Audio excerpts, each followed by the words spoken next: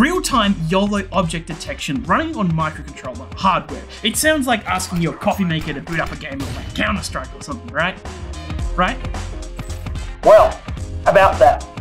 This is YOLO running on microcontroller hardware, in case that wasn't clear. Welcome back to Core Electronics. We are doing yet another YOLO-based computer vision video. Though this one's different though. Don't click off though. This one might be the coolest of them all. We've done a lot of computer vision videos with the Pi, sometimes with dedicated AI acceleration hardware on it. You might have run some on your computer for a bit of fun, or you might have seen some crazy performance on a high-end NVIDIA Jetson with over 275 teraflops per gigafarad of compute power. And big, powerful AI hardware is really cool. But today's video lies on the complete opposite end of that spectrum, in an area where most makers probably don't think to look. What if instead of trying to squeeze the most tops out of each watt, we tried to use as little watts as possible? Enter the Grove Vision AI V2 by Seeed Studio, a board that only uses 0.35 watts of power while still being able to run a YOLO V8 model at 20 to 30 FPS. The specs sound like fiction, but the board is very real, so let's see how they pulled it off. If you have a keyboard in front of you that lights up with RGB colors and whatnot, chances are it's thanks to one of these, a small RGB LED. And one of these at full white brightness uses about the same amount of power as the Vision board. And your keyboard has one of these LEDs for every single key that lights up. That is just a good sense of how little 0.35 watts is, how little power this board actually uses. Now, I'm not gonna lie, I found it a little difficult to believe that number, so we went ahead, booted up the Otii Arc, plugged in the Vision board, ran some object detection, and saw that it was in fact using about 0.35 watts of power. It is actually a tad bit more, but we can probably chalk that up to the camera using some power. Nonetheless, 20 to 30 FPS on a YOLO 8 model with 70 milliamps of current being drawn. How does it do this? Well, there's two things making this happen. This board has microcontroller hardware, but that doesn't mean that it's the same, nor you can run these models on your ESP32 or Arduino or Pico. No, this is specialized microcontroller hardware designed for AI purposes. In the onboard WiseEye microprocessor, you'll find dual-core M55 processor, a high-speed, newer generation processor with support for machine learning capabilities. But the real star of the show is the Ethos U55, another ARM core, but this one is designed for one thing and one thing only, machine learning acceleration. It's a dedicated processing core for tasks like computer vision. All of these cores come together to make something that's just powerful enough to run computer vision on device, yet it's it's microcontroller hardware, so it's efficient enough to sip power like an LED. This is modern edge processing and it's here and it's ready to be applied in your Maker projects. The second part of this equation is the model itself. This isn't running a standard off-the-shelf YOLO model that you can, you know, pull from Hugging Face. It's been trimmed down and compressed for maximum efficiency. They've essentially gotten a car and just stripped it down to the things you only really need, like, you know, wheels, a drivetrain, engine, and a steering wheel. You don't need a seat, you don't need doors, you don't need anything like that. The model runs at 192 by 192 pixels, the default is 640 by 640, and this does lower detection distance a bit, but it increases speed. The models have been quantized down to int 8, which greatly reduces model size and increases speed. The models have also been cut down to only detect one type of object per model, which results in a smaller model and increases speed. So this board is really just a beautiful fusion of new AI-focused microcontroller hardware and state-of-the-art models cut down to run on an embedded system like this. But now the question is, how does it all come together? How does it perform?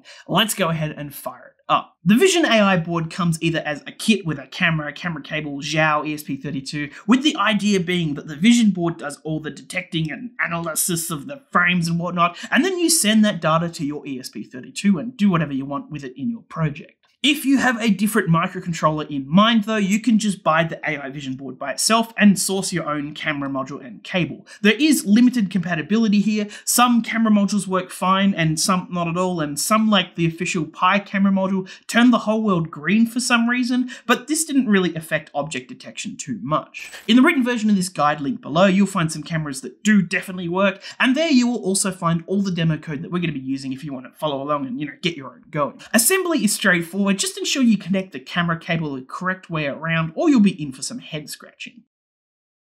Now comes another crazy thing about the board. Of every computer vision related thing that we've done on this channel so far, this is by far the easiest to get going. You ready? Step 1. Plug the board into your computer. Step 2, go to the SenseCraft Studio website and connect your board. Step 3, select the model you want to use.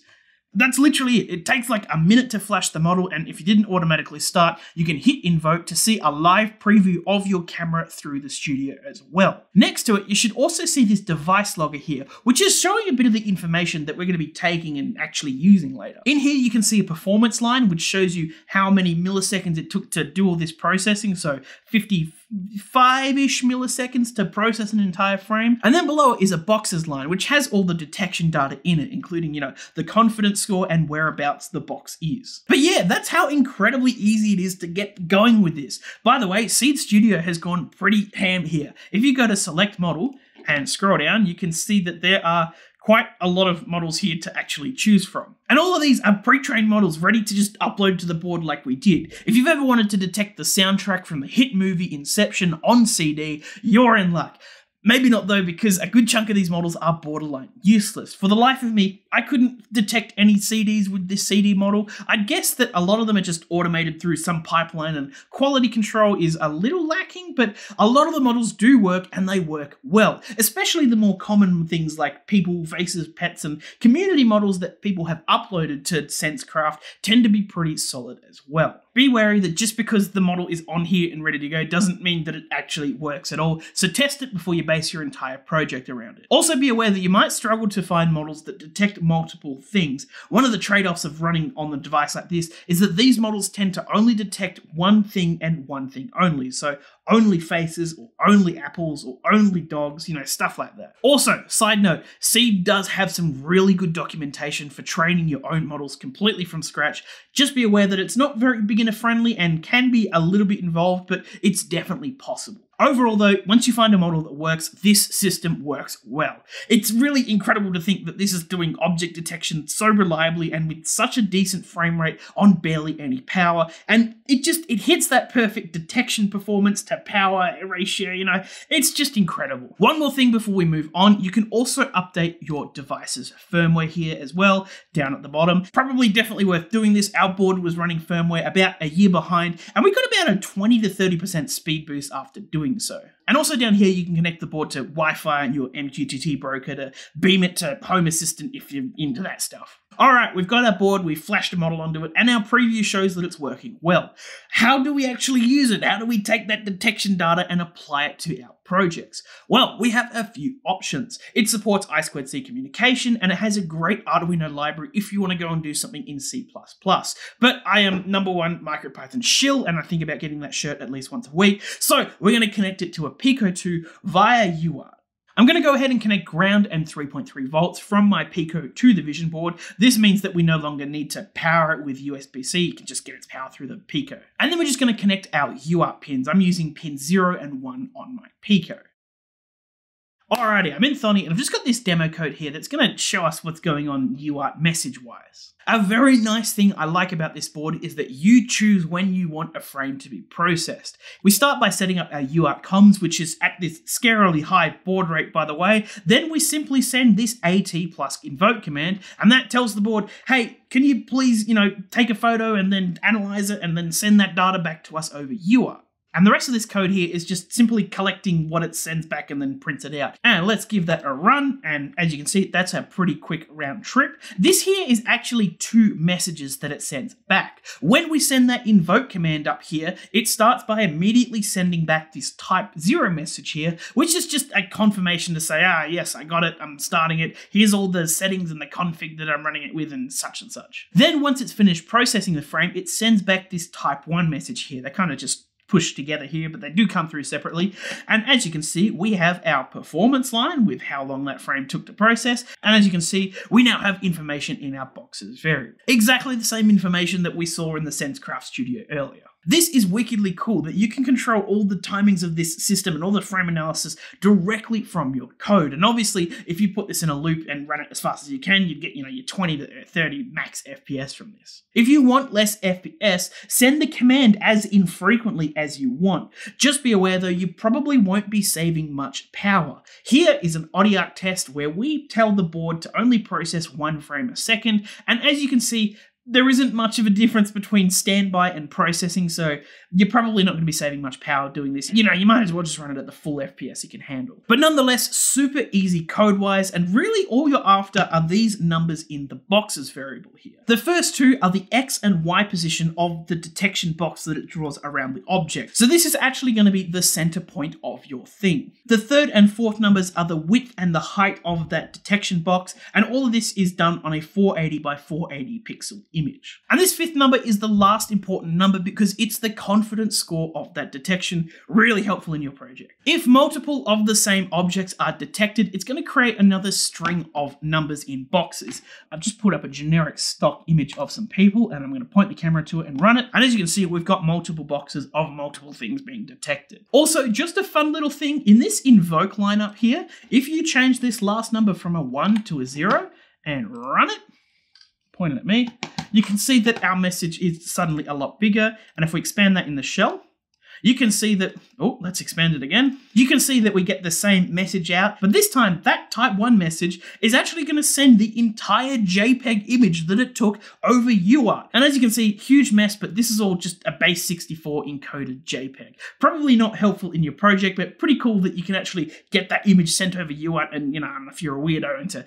handling images on microcontrollers, but you can reconstruct the image. Oh, man, if only there was like, you know, like a like a second demo code that stripped away all the unnecessary thing and gave you the boxes. There is. Yeah, let's take a look it. This code is very similar to the first one, but it's ready to be applied in your projects. Up here, you have a function that sends the invoke command and then it reads both those messages and just extracts the box's information for you. It's also got a timeout feature and error handling, and it's just been made nice and robust, ready to actually use in a real world project. So let's go ahead and run it, and as you can see, no objects detected. All right, I'm going to very carefully point the camera at me. And there we go, we got all the information coming out. If you are interested in using this, we'll go over it in more depth in the written guide, but we're just letting you know that yeah, if you want to actually use this, we've got some nice code to get you going. Well, that about wraps us up. I've been playing around with this thing for quite a while now, and I am still amazed at this thing every time I use it. I can't believe that we've reached a point where we can do this sort of stuff on microcontroller architecture. The role of microcontrollers is really shifting quite quickly as more and more processing power becomes available. In case you haven't seen it, you can now run OpenCV on a microcontroller in MicroPython, another computer vision thing on microcontroller hardware. This technology is also only going to get better from here, and right now it's already more than good enough for use in Maker projects. I'm just so excited for you know, where this sort of stuff is going to go. If you do make anything cool with this and you want to share it, or you just need a hand with anything we covered in this video, head on over to our community forums. We're all makers over there and we're happy to help. Until next time though, happy making.